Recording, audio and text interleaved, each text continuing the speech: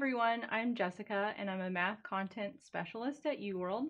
I work on our SAT and ACT math products and today I want to talk about a commonly missed question over solving radical equations.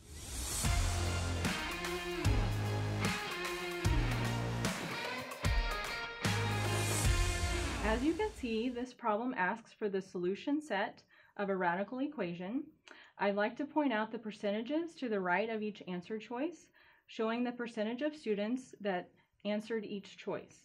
As you can see, the correct answer B was chosen 49% of the time, which is pretty low. And the incorrect answer D was chosen 27% of the time, which is pretty high for an incorrect answer.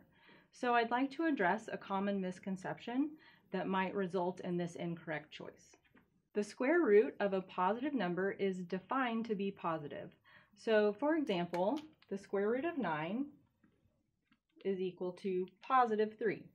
The square root of 16 is equal to positive 4. So let's have a look at our given radical equation. The square root of 18 minus x squared equals negative x. As you can see, the left side of the equation is the square root of this expression. We don't yet know the value of this expression, but we know that the square root of this must be positive for there to be a solution to this equation. So the left side of the equation must be positive, and if that is true, then the right side of the equation must also be positive.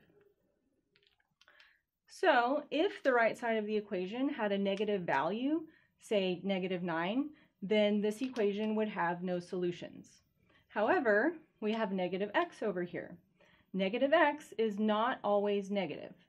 For example, let's say the value of x is negative 1. So if I plug that in for x, I end up with negative, negative 1.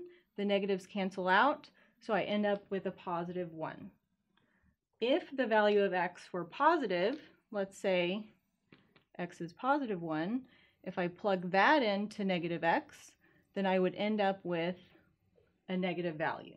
Well, we just talked about how this side of the equation must be positive, so the value of x must be negative.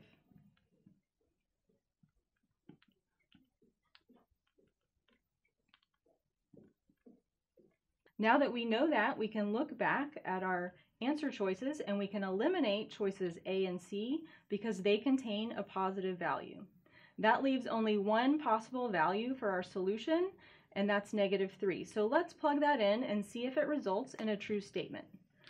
So I'm going to replace x on both sides of the equation with negative 3. I'm going to evaluate the expression under the radical first.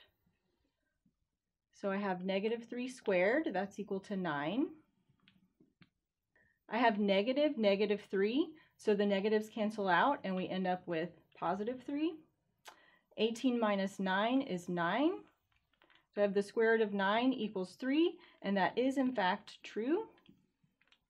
And that tells us that the solution to the equation is negative 3, so that is our solution set.